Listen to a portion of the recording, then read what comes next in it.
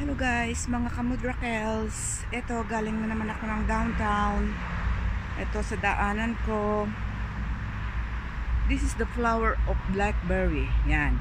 Kasi, next month, magiging fruits na sila. Kaya ipeplex muna sa inyo how does blackberry flower looks.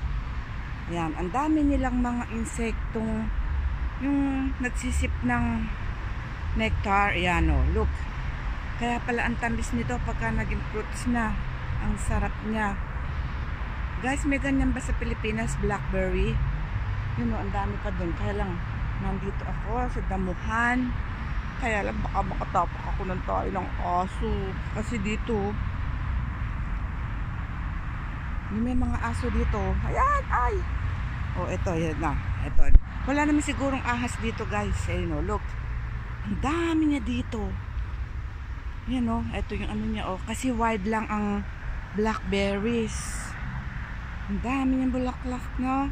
Yun o, dami. Yan o, pinupuntahan siya ng mga bumblebee. Kaya matamis siya. Wala naman sigurong ahas dito guys. Kasi daanan to ng tao. Look.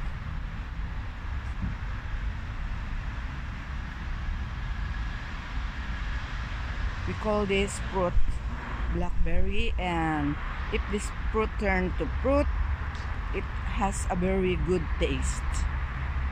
Ganun dami pa oh. Oh, sige, pasyal-pasyal muna tayo dito. Yan, daanan ko lang to. Yan, oh my goodness. Oh, wala sana dito tae. Yan, oh.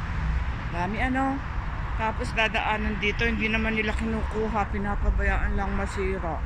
Kasi nga daanan lang ng tao. Look, oh. Nadidinig nyo ba ingay na yon? Kasi daanan ng auto to, ng mga cars. Ito, oh. Ito na ako. Ito, ang ganda dito, oh. Ay, ang ganda, ang dami, oh. Ay, yun, oh, ang B. Ang dami pala dito. Ngayon ko lang to na ano, na, na anuhan ng mata ko. Dami pala niya dito, ang bulaklak. And next month, iboblog ko sa inyo pagka fruits na siya. Oh, ang dami, no? Ang fruits ay nasa daan lang.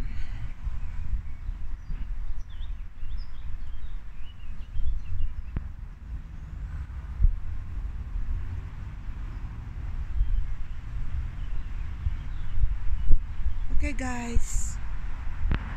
Thanks sa mga subscriber ko and special shout out from The Singing Mudra. Bye.